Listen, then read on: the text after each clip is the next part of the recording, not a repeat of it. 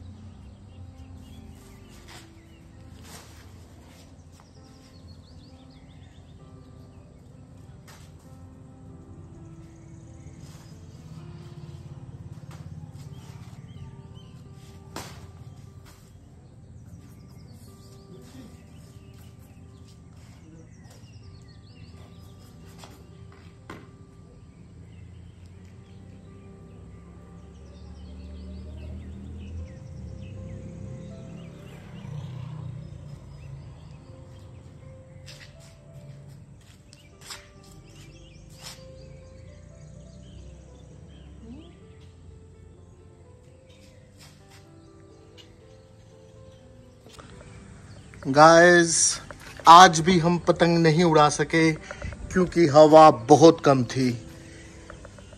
Hope आपको ये छोटा सा वीडियो अच्छा लगा हो। अगर वीडियो अच्छा लगा तो वीडियो को लाइक करना चैनल को सब्सक्राइब करना। मैं मिलूँगा आपको किसी अगली वीडियो में। Till then bye take care